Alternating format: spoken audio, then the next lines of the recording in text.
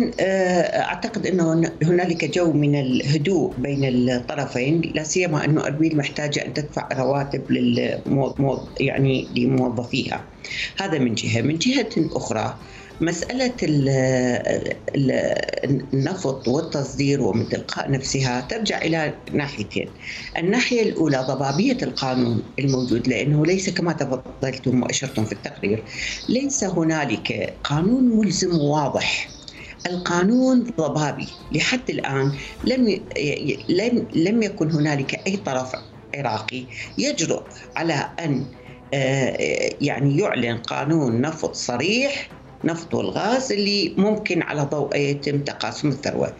الدستور يوضح إنه من حق الثروة هي لكل المواطنين العراقيين، لكن هنالك مسألة. إذا كان الإقليم يفسر أنه مثلا الحق في أن يخرج النفط يصدره على مسؤوليته.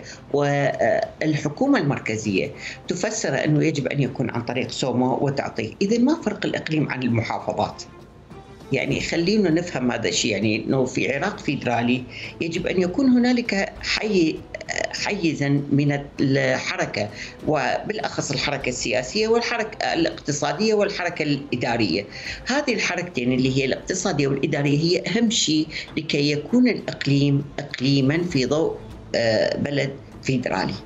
فهذه هي نقطة الخلاف.